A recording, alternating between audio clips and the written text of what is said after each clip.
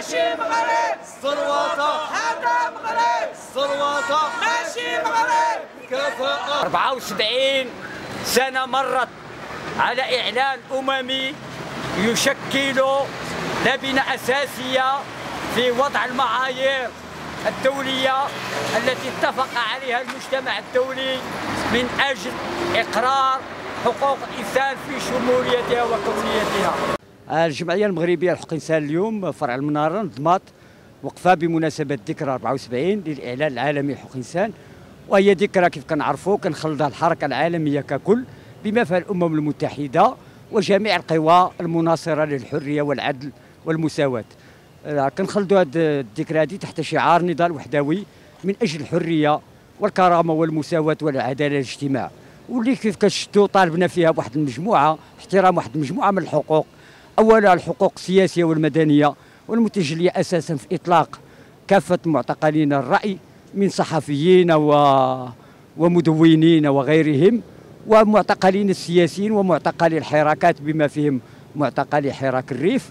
بطبيعة الحال كندعيو كذلك الاحترام آه، القانون احترام الدستور فيما يتعلق بالجانب المتعلق بحرية الرأي والتعبير وبالحق في التظاهر السلمي وفي الاحتجاج السلمي وفي التنظيم كذلك لأنه لا يعقل أن تستمر هناك بعض التنظيمات كالجمعية المغربية لحقوق الانسان بدون توفر على وسط الاذاعه القانوني.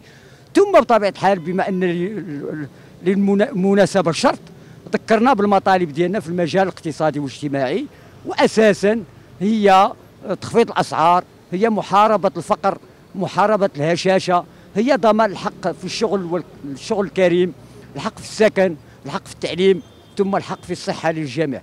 وقفنا كذلك عند نقطة مهمة اليوم وهي العدالة للجميع وهي تنطلق من مبدأ المساواة أمام القانون ووضع حد لجرائم الإفلات من العقاب سواء في قضايا التعذيب أو قضايا ديال التعنيف أو القضايا ديال المس بالكرامه الإنسانية وحتى القضايا المتعلقة بالجرائم الاقتصادية والاجتماعية. نتمنى أن تكون الذكرى 74 هي محطة لحمل الدولة على مراجعة سياستها وعلى التجاوب مع انتظارات المغاربة بشكل عام خاصة في المجالات ديال الحريات الأساسية والحقوق الاقتصادية والاجتماعية والثقافية. وشكرا.